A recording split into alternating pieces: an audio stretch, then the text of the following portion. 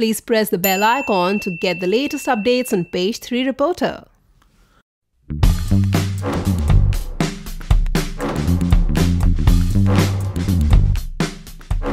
बॉलीवुड बॉलीवुड यहाँ पर कदम कदम पर रिश्तेदार मिलते हैं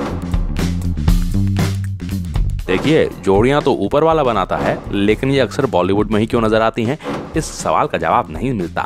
आपको याद है संजय नागपाल? जी वो एक्ट्रेस एकता सोनी के पहले फ्योन्सी हुआ करते थे। वही एक्ट्रेस एकता सोनी ने जिनकी शादी बाद में जाकर हो गई मोनीश बहल से।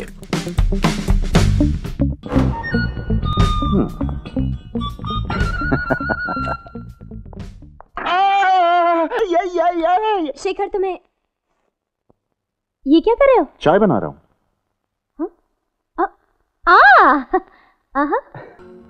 आपने मुझे बुलाया? हाँ शेखर।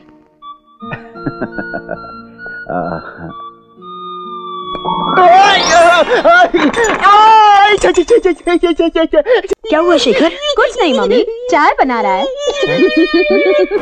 जी हाँ संजय नागपाल जी की बीवी रुबैना। रुबैना दरअसल एक्टर मजर खान की पहली बीवी थी। वही मजर खान जिन्होंने आगे जाकर जीनत अमान से शादी करी। अरे कंफ्यूज मत होइए रुबैना मुमताज़ खान दरअसल दिलीप कुमार की भांजी हैं। दिलीप कुमार इनके मामू लगते हैं।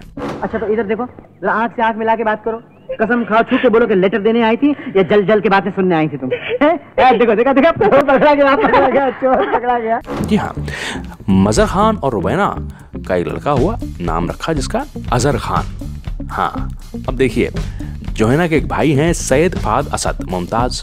इनकी शादी हुई अभिनेत्री किरण बैराले से। इनका बेटा हुआ, जिसका नाम रखा असद मुमताज़।